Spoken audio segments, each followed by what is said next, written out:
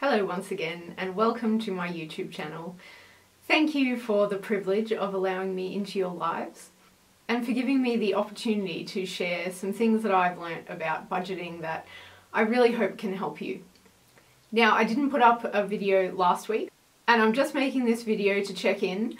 We have had a lot of changes in our lives happen and a few things going up and down and all over the place. I won't actually be posting another video for a couple of weeks, but I just wanted you to know I still have stacks of advice and tips that I want to impart to people and share with people. And I really appreciate all those who have been watching and supporting and sharing.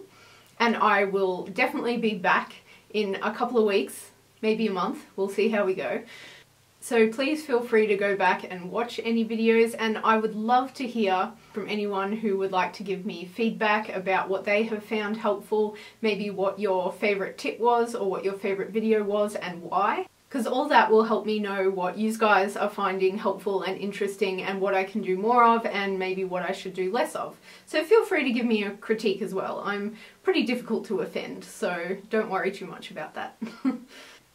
So please don't forget about me because I certainly will not forget about you.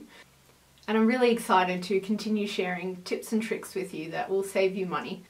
But I want them to be good and I want to make sure that I'm giving you the best that I can. So I'm not going to be able to do that for the next couple of weeks. But I look forward to seeing you again after that.